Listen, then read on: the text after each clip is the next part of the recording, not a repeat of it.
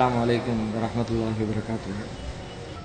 கண்ணியத்திற்குரிய எல்லாம் உள்ள அல்லாஹுவின் நல்லடியார்களே அல்லாஹ் ரபுல் ஆலமீன் நம் மீது கடமையாக்கியிருந்த ரமலானுடைய நோன்பை நிறைவு செய்துவிட்டு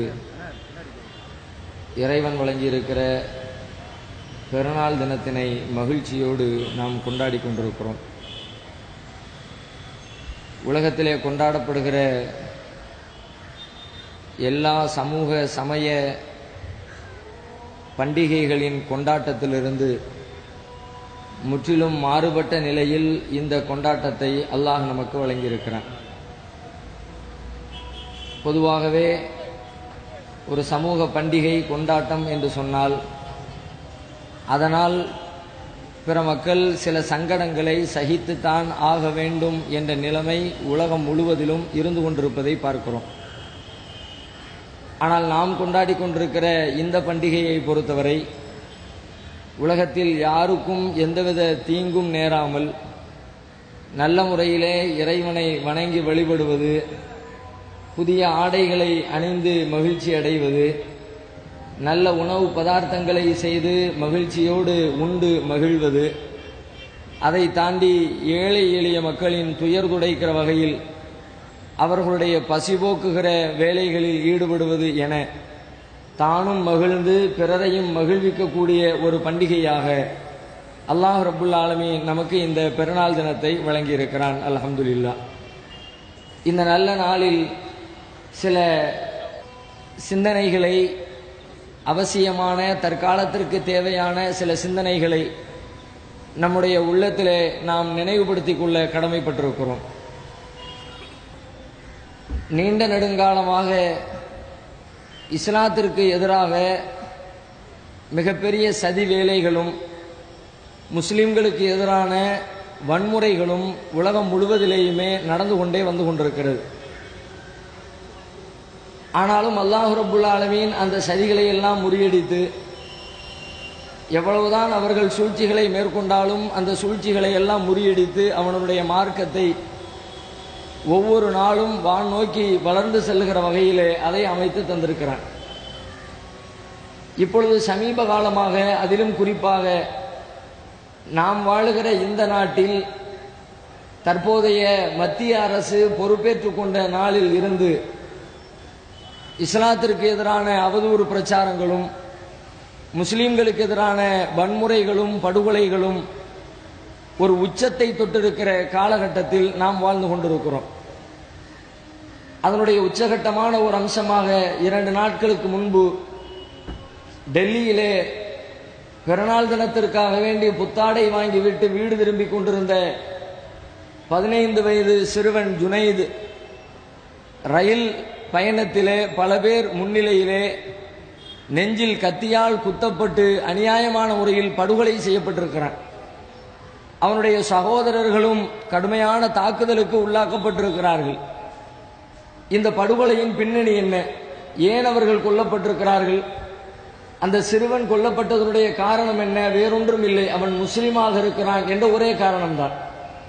ஆயிரம் காரணங்களை பல பேர் சொன்னாலும் கூட அதன் பின்னணியிலே இருக்கிற ஒற்றை காரணம் முஸ்லீமாக இருக்கிறான் என்ற ஒரு காரணத்திற்காக அவர்கள் மீது தாக்குதல் நடத்தப்பட்டு அந்த சிறுவனுடைய உயிர் பறிக்கப்பட்டிருக்கிறது.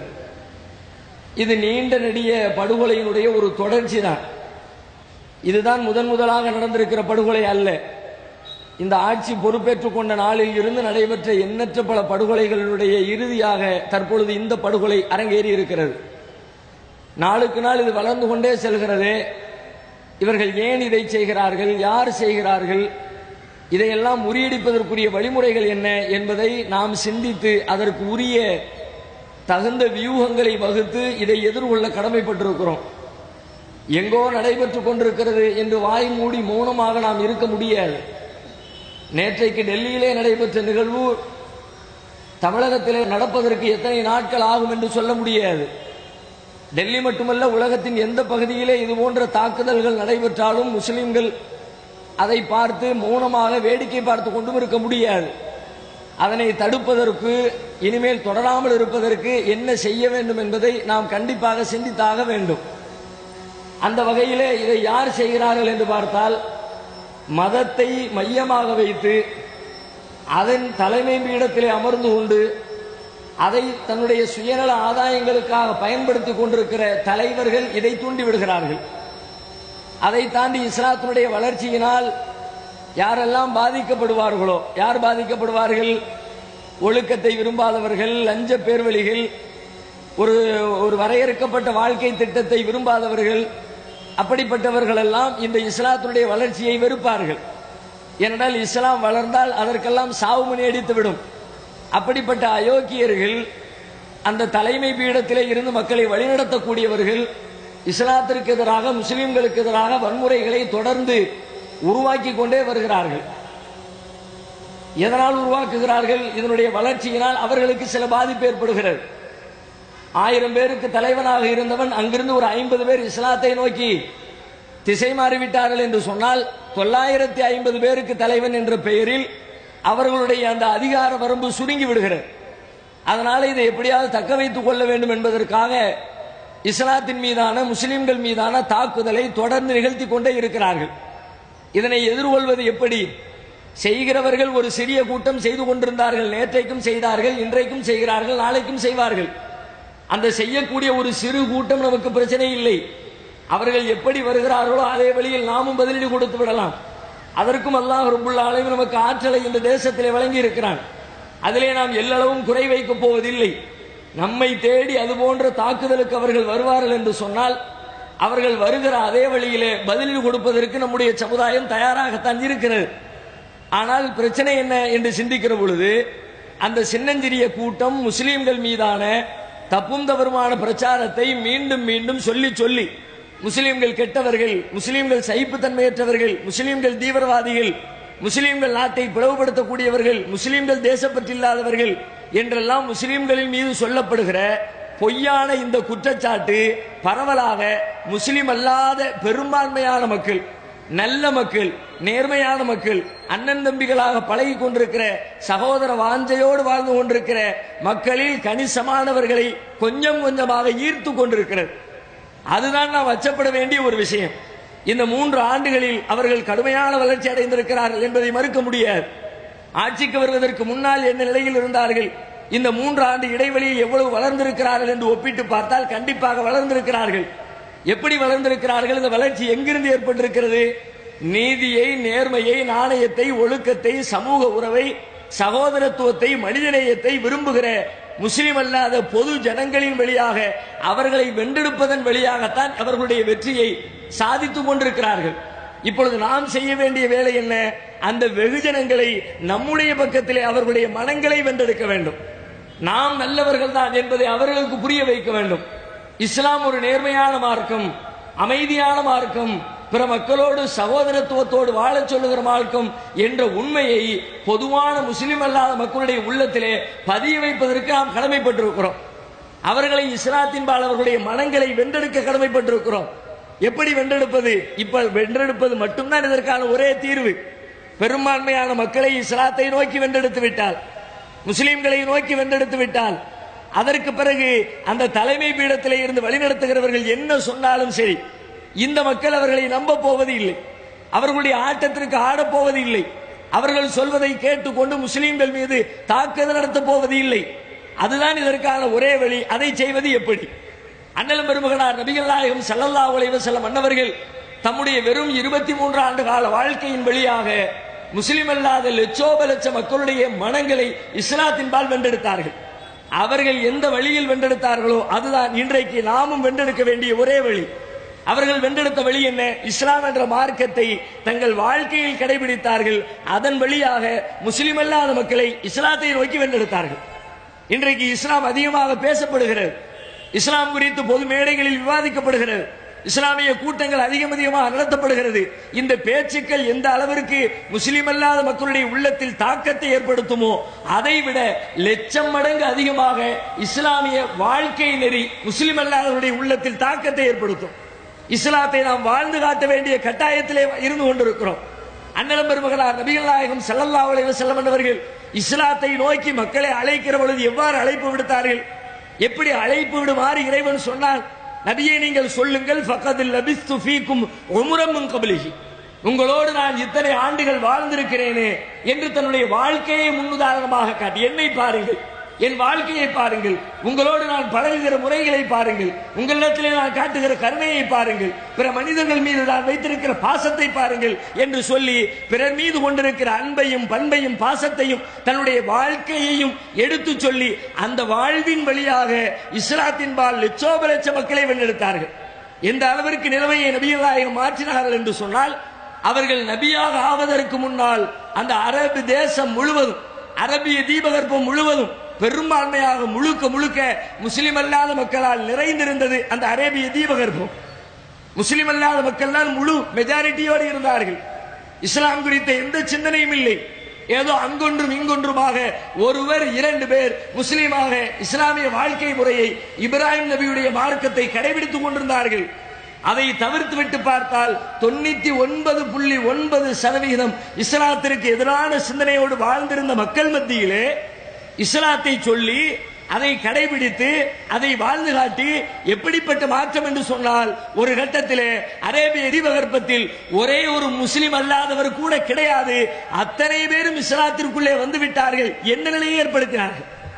ஒருத்தர் கூட மாற்றுக் கொள்கை கிடையாது.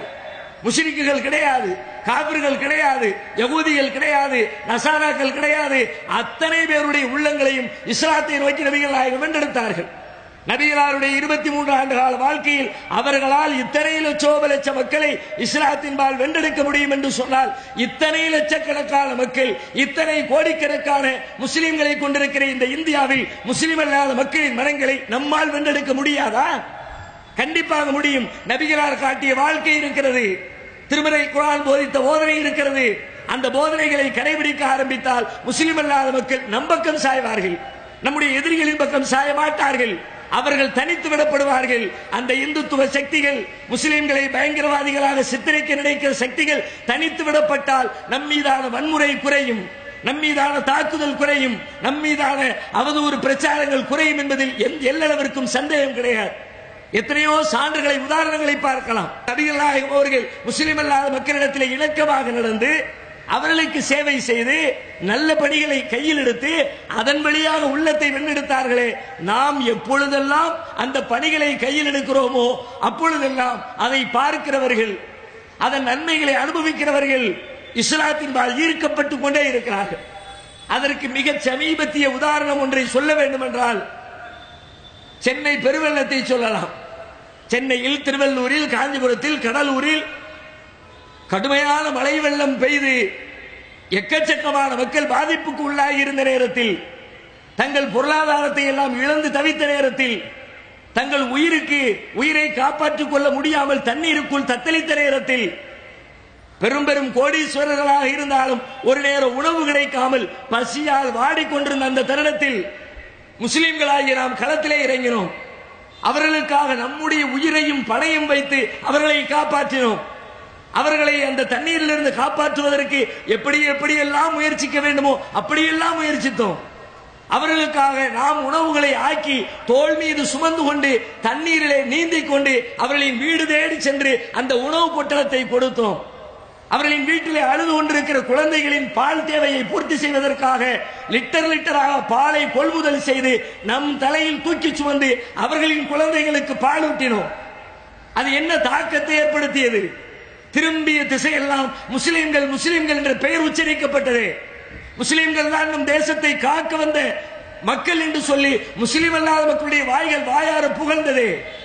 டிசம்பர் ஆறாம் தேதி அன்றைக்கு முஸ்லிம் அல்லாத சமூகத்தை சார்ந்தவர்கள் பகிர்ந்து கொண்ட முகநூல் செய்திகள் பிரபலமானது. வெள்ளம் பெய்து கொண்டிருக்கிறது மழை வெள்ளம். மக்கள் தத்தளித்துக் கொண்டிருக்கிறார்கள். கோவிலுக்குள்ளே உணவுக்கு வழி இல்லாமல் வெளியிலே வர முடியாமல் உள்ளே பல பேர் பட்டினி கிடக்கிறார்கள் என்ற செய்தி கிடைத்து அவர்களின் பசி போக்குவதற்காக முஸ்லிம்கள் தங்கள் தோள்களில் உணவு பட்டணத்தை தூக்கிக் கொண்டு கோவிலுக்குள் நுழைகிறார்கள். அந்த காட்சியை படம் எடுத்து அதை தன்னுடைய முகநூலில் பதிவு செய்துவிட்டு ஒரு முஸ்லிம் அல்லாத தோழர் கீழே குறிப்பு எழுதுகிறார். இன்றைக்கு டிசம்பர் ஆறு. இன்று டிசம்பர் ஆறு. இவர்கள் இடிக்க வரவில்லை உள்ளே இருக்கிறவர்களின் பசியை போக்க வந்திருக்கிறார்கள். இவர்கள் இடிக்க வரவில்லை மக்களை காக்க வந்திருக்கிறார்கள். எப்படிப்பட்ட ஒரு அருமையான ஒப்பீடு. பாய்மார்கள் எல்லாம் எங்களுக்கு தாய்மார்களாக தெரிகிறார்கள் என்று வாயார பாராட்டினார்களே புகழ்ந்தார்களே. பல பேர் நாங்கள் இஸ்லாத்திற்குள் வர விரும்புகிறோம் என்று வெளிப்படையாகவே தெரிவித்தார்களே. நீங்கள் அரசியலுக்கு வாருங்கள் உங்களை வாக்களித்து நாங்கள் வெற்றி பெற செய்கிறோம் என்று சொல்லி நம்மிடத்திலே கோரிக்கை வைத்தார்களே. எதனால் இது சாத்தியமானது? மார்க்கம் சொன்ன பிறருக்கு உதவுங்கள் சிரமப்படுகிறவர்களின் சிரமங்களை நீக்குங்கள் என்று நபிகளார் சொன்ன அந்த பொன்மொழியை வாழ்க்கையில் கடைபிடித்தோம். மனங்களை ஓரளவிற்கு நம்பால் திருப்பி இருக்கிறோம். இந்த வேலையை வாழ்க்கை முழுவதும் செய்தால் இந்த பணிகளை வாழ்வு முழுவதும் செய்தால் ஏதோ ஒரு வெள்ளம் வரட்டும் என்று சொல்லி காத்திருக்க முடியாது. அன்றாடம் எத்தனையோ வாய்ப்புகள் நமக்கு கிடைக்கிறது. எல்லா வாய்ப்புகளையும் பயன்படுத்தி நம்மிடத்திலே ஒரு கடையிலே போய் சாமான் வாங்குகிற பொழுது கடையின் முதலாளியாக கடையின் தொழிலாளியாக நம்முடைய நண்பர்களாக பக்கத்து வீட்டுக்காரர்களாக எத்தனையோ முஸ்லிம் அல்லாத மக்களோடு அன்றாடம் பழகுகிறோம். ஒவ்வொரு தருணத்திலேயும் அவர்களுக்கு உதவி செய்ய வேண்டிய எத்தனையோ வாய்ப்புகள் நமக்கு கிடைக்கிறது. அந்த பணிகளை அவர்களுக்கு உதவுகிற அந்த வேலையை மார்க்கம் சொன்ன அடிப்படையில் நாம் செய்ய ஆரம்பித்தால் நமக்கு எதிராக எத்தனை பெரிய சூழ்ச்சிகள் செய்தாலும் மீடியாக்கள் அத்தனையும் கதவு திறந்து வைத்துக் கொண்டு முஸ்லிம்கள் தீவிரவாதிகள் தீவிரவாதிகள் தீவிரவாதிகள் என ஓயாமல் ஒழித்தாலும் அதை நம்புவதற்கு இந்த தேசத்திலே எந்த முஸ்லிம் அல்லாத சகோதரனும் தயாராக இருக்க மாட்டான். பிறருக்கு செய்கிற உதவிகள் வழியாக உள்ளங்களை வென்றெடுக்க வேண்டும். உலகத்திலே கிறிஸ்தவர்கள் மதத்தின் பெயரை சொல்லி கொன்று குவித்த மக்களின் எண்ணிக்கை அதிகம். அமெரிக்காவால் கொல்லப்பட்டவர்கள் பிரிட்டிஷாரால் கொல்லப்பட்டவர்கள் போப்புடைய அறிவிப்பால் கொல்லப்பட்டவர்கள் அன்றிலிருந்து இன்று வரைக்கும் பனிரெண்டுக்கும் மேற்பட்ட சிலுவை யுத்தங்களை இந்த உலகம் கண்டிருக்கிறது. அது என்ன சிலுவை யுத்தம்? மதத்தின் பெயரால் அறிவிக்கப்பட்ட யுத்தம். இந்த மதத்தை காக்க மதத்தை மேம்படுத்த மதத்தை வளர்க்க என்று சொல்லி முஸ்லிம் உலகத்தின் மீது நடத்தப்பட்ட படையெடுப்புகள் சிலுவை யுத்தங்களின் வரலாறு சொல்கிறது. உலகத்தினுடைய பல்வேறு நாடுகளை ஆட்சி புரிவதற்காக வேண்டி பிரிட்டிஷார்கள் ஐம்பது ஆண்டுகளுக்கு முன்னால் உலகத்தை கட்டி ஆண்டார்கள். இந்தியா அவர்களுடைய கரங்களில் இலங்கை அவர்களுடைய கரங்களில் அரபு தேசத்தில் பல அவர்களின் கரங்களில் மலேசியா அவர்களுடைய கரங்களில் பர்மா அவர்களுடைய கரங்களில் இப்படி உலகத்தினுடைய எண்ணற்ற பல நாடுகளை கட்டி ஆண்டவர்கள் அவர்களுடைய அந்த நாட்டு குடிமக்கள் மீது செய்த கொடுமைகள் எத்தனை? கொல்லப்பட்ட உயிர்கள் எத்தனை? நம்முடைய தேசத்திலே எத்தனை பேர் ஆங்கிலேயரால் படுகொலை செய்யப்பட்டார்கள்? வரலாறு சுதந்திர வரலாறு என்று பள்ளிக்கூட மாணவர்களுக்கு கற்றுக் கொடுக்கிறோமே அதுவெல்லாம் என்ன? அந்த பிரிட்டிஷாருடைய ஆதிக்கத்திற்கு எதிராக அநியாயத்திற்கு எதிராக படுகொலைக்கு எதிராக நிகழ்த்தப்பட்ட யுத்தங்கள் தானே? அவர்களுக்கு எதிராக நடத்தப்பட்ட போர்க்களங்கள் தானே? இப்படி நாடு முழுக்க உலகம் முழுக்க மதத்தின் பெயரை சொல்லியே கொன்று குவித்தார்கள். அப்படி கொன்று குவித்தவர்களை இன்றைக்கு உலகம் தீவிரவாதி என்கிறதா? உலகத்தினுடைய சமாதான தூதர்களாக அவர்கள் பார்க்கப்படுகிறார்கள். எப்படி? எதனால்? உலகம் முழுவதிலேயும் இப்படி ஆதிக்கம் செலுத்தியவர்கள். ஆப்கானிஸ்தானத்திலே நுழைந்து லட்சக்கணக்கான குழந்தைகளை கொண்டவர்கள் ஈராக்கிலே பொதுமக்கள் மீது குண்டுகளை பொழிந்து பல்லாயிரக்கணக்கானவர்களை கொன்று ஒழித்தவர்கள் வியட்நாமிலே ஜப்பானிலே என்று சொல்லி உலகம் முழுவதிலேயும் படுகொலைகளை மதத்தின் பெயராலே நிகழ்த்திய ஒரு சமூகத்திற்கு இன்றைக்கு உலகம் என்ன பெயர் சொல்லுகிறது? அமைதியானவர்கள் சமாதானத்தின் தூதர்கள் எப்படி இந்த பெயரை வாங்கினார்கள்? இத்தனை படுகொலைகளை செய்துவிட்டு சமாதானத்தின் தூதன் என்ற பெயர் எப்படி கிடைத்தது? வேறொன்றும் இல்லை அதையெல்லாம் மறைப்பதற்காக சில சமூக பணிகளை கையில் எடுத்தார்கள். படிக்க முடியாத ஏழை குழந்தைகளுக்கு நாங்கள் படித்து தருகிறோம் என்று கல்வி சேவைகளை கையில் எடுத்தார்கள். பராமரிக்கப்படாமல் கைவிடப்பட்ட முதியோர்களை நாங்கள் பராமரிக்கிறோம் என்று சொல்லி தங்களுடைய அரவணைப்பில் கையில் எடுத்தார்கள். குஷ்டரோகிகளை அரவணைத்தார்கள். அனாதைகளுக்கு பாதுகாப்பு கொடுத்தார்கள். ஏழை எளிய மக்களுக்கு மருத்துவம் செய்தார்கள். மருத்துவமனையில் அனுமதிக்கப்பட்டிருக்கிற இடத்திலே போய் அமர்ந்து கொண்டு அவனுக்காக ஜெபித்தார்கள். இதனை பார்த்த மக்கள் அவை அனைத்தையும் மறந்து விட்டார்கள் வெளியிலே நிகழ்த்தப்பட்ட ஒட்டுமொத்த படுகொலைகளை மறந்துவிட்டு அவன் ஆயிரம் செய்யட்டும் நல்லவன். இத்தனை கோடானு கோடி மக்களை கொண்டொழித்து விட்டு ஒரு சில நற்பணிகளின் வழியாக நல்லவன் என்ற பெயரை வாங்கிவிட முடியும் என்றால் நம்மால் வாங்க முடியாது. நாம அப்படி படுகொலை நிகழ்த்தியவர்களா? நிகழ்த்தி இருக்கலாம் எங்கோ அங்கொன்றும் இங்கொன்றுமாக ஒருவர் இருவர் தவறு செய்திருக்கலாம். அந்த தவறுகளை நாம் செய்யக்கூடிய நற்பணிகள் மறைக்காதா? மக்களுடைய உள்ளங்களை வென்றெடுக்க முடியாதா? முடியும். அவர்கள் அதை இத்தனை பெரிய காரியங்களையே சின்னஞ்சிறிய நல்ல பணிகளின் வழியாக மூடி மறைத்து விட முடியும் என்று சொன்னால் எத்தனையோ நல்ல பணிகளை செய்து கொண்டிருக்கிற நாம் இன்னும் அதை வீரியப்படுத்தி சமூக பணிகளை பிற மக்களிடத்திலே நெருங்குகிற வேலைகளை அதிகம் அதிகமாக செய்ய ஆரம்பித்தோம் என்றால் அவர்களுக்கான உதவிகளை கையில் எடுத்தோம் என்று சொன்னால் கண்டிப்பாக நம் மீது ஊத்தப்படுகிற பொய்யான அவதூறான சகிப்புத்தன்மையற்றவர்கள் என்ற குற்றச்சாட்டு மறையும். இஸ்லாம் அமைதி மார்க்கம் என்பதை புரிவார்கள். இஸ்லாத்தின் அவர்கள் வென்றெடுக்கப்படுவார்கள். அது இன்றைய காலத்தின் கட்டாயம். அதை இன்றைக்கு நாம் செய்ய தவறினால் நாளைக்கு முஸ்லிம்கள் இந்த தேசத்தில் எப்படி இருப்பார்கள் எப்படி நடத்தப்படுவார்கள் என்பதை யாரும் கற்பனை கூட செய்து பார்க்க முடியாது. நாம் ஏதோ தவறுகளை மறைப்பதற்காக இந்த திட்டங்களை தீட்டவில்லை. உண்மையை இதுதான் இஸ்லாம். அப்படித்தான் முஸ்லிம்களாகி நாம் இருக்கிறோம். அதை உலகத்தாருக்கு சொல்ல வேண்டிய முறைப்படி சொல்ல வேண்டிய கடமை நமக்கு இருக்கிறது. எனவே இது போன்ற நற்பணிகளை அதிகப்படுத்த வேண்டும். தனிநபர்களை சந்தித்து நம்முடைய சத்திய கருத்துக்களை முஸ்லிம் அல்லாத மக்களுக்கு தெளிவாக புரிகிற வகையிலே எடுத்துச் சொல்ல வேண்டும்.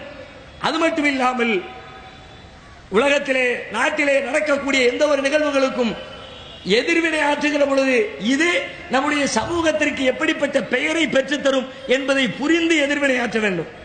இன்றைக்கு எல்லோருடைய களங்களிலும் தொலைபேசி இருக்கிறது மொபைல் இருக்கிறது. அதற்குள்ளே இணையதளம் இருக்கிறது. அதில் பதியப்படுகிற கருத்துக்கள் உலகமெல்லாம் பறக்கிறது. ஆனால் முஸ்லிம்களில் சில பேர் அரைகுறையாக சிந்தனை இல்லாமல் சமூக பற்றில்லாமல் தன்னுடைய கருத்து என்ன மாதிரியான விளைவை உண்டாக்கும் என்பதை பற்றியான எந்த புரிதலும் இல்லாமல் ஏதோ ஒரு செய்தியை பரப்புவது என்று பரப்புகிறார்கள். அது முஸ்லிம் அல்லாத மக்களுடைய உள்ளங்களில் பெரும் தாக்கத்தை ஏற்படுத்துகிறது. நம்மை பற்றி இப்படியெல்லாம் பேசுகிறார்களே என்று அவர்கள் கவலைப்படுகிற ஒரு சூழலை ஏற்படுத்துகிறது. நம்மை விட்டும் தூரமாக்கி நம்முடைய எதிரிகளின் பக்கம் அவர்களை அணி சேர வைக்கிறது.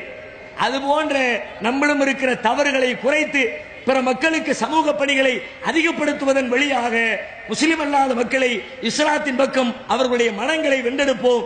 எல்லாம் உள்ள இறைவன் இந்த தினத்தில் அதற்கான சங்கல்பத்தை எடுத்து நாள் முழுவதும் ஆண்டு முழுவதும் அதை கடைபிடிக்கக்கூடிய நிர்பாக்கியத்தினை நம் அனைவருக்கும் தந்தருள் புரிவானாக. வாகிறது அவானாலில் அஹமதுல்லாஹி ரபில் ஆலமீன். அஸ்லாம் வலைக்கும் வரமத்துல்லாஹி வரகாத்து அல்லாஹ்